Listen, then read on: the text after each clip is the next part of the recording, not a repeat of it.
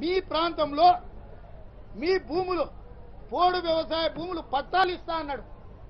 ఆనాడు రెండు వేల ఆరు అటవీ హక్కుల చట్టాన్ని తీసుకొచ్చి తెలంగాణ ప్రాంతంలో ఆనాడు పదిహేను లక్షల ఎకరాలు మొత్తం ఈ రాష్ట్రంలో పేదలకు పట్టా భూములు ఇచ్చి ఆదివాసి బిడ్డల్ని భూ యజమానులుగా మారిస్తే హరితవారం పేరు మీద ఇవాళ పేదలకు ఇచ్చిన భూములు గుంజుకుంటున్నాడు. ఇదే తాడువా అడవుల్లో ఆడబిడ్డలు చెట్ల కట్టేసి అటవీ శాఖ అధికారులు కొడితే నేను వచ్చిన కిలోమీటర్ల కొద్ది నడుచుకుంటూ పోయి ఆదివాసి బిడ్డలం కట్టిన కలిసి వచ్చిన అల్లూరు సీతారామరాజు సినిమాలో చూసినాం.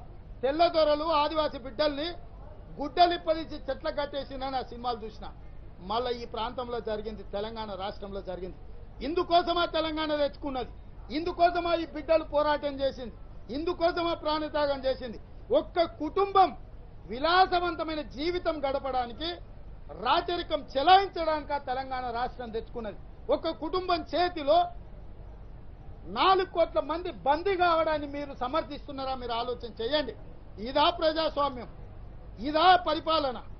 ఇలాంటి పరిపాలన మీద తిరుగుబాటు చేయకపోతే దేవుడు మనకు ఎందుకే జన్మించింది ఒక్కసారైనా సమ్మక్క సారలమ్మ సాక్షిగా ఆత్మవిమర్శ చేసుకోవాలి ఇక్కడికి వచ్చిన వాళ్ళందరూ కూడా. మేమే కాదు. పాత్రికే మిత్రులకు కూడా నేను సూచన చేస్తున్నా. మీ కళానికి కళాకారుల గళానికి పదును పెట్టండి. ఈ తెలంగాణలో కవులు కళాకారులు ఫామ్ హౌస్ల గులాములుగా మారుతారా? ఇదా ఇది తెలంగాణ. సాకల ఐలమ్మకి ఏమైనా వందల ఎకరాలు ఉండేనా? రామ్జీ గోండ్కి ఏమైనా వేల ఎకరాలు ఉండేనా? కొమరం భీమ్కి ఏముండే? సమ్మక్క సార్లమ్మకి ఏముండే? వాళ్ళ కోసం వాళ్ళ కుటుంబం కోసం కాదు కదా? వాళ్ళ కోసం అయితే చక్రవర్తులకు లొంగిపోయి ఉంటే సామంతులుగా అద్భుతమైన జీవితం వాళ్ళకు వచ్చి ఉండేది. ఇంతమంది త్యాగాలు చేసిన ఈ గడ్డ మీద పుట్టిన మనము ఇంకా ఈ అరాచకం భరించాలా? దీన్ని ప్రోత్సహించాల్సింది.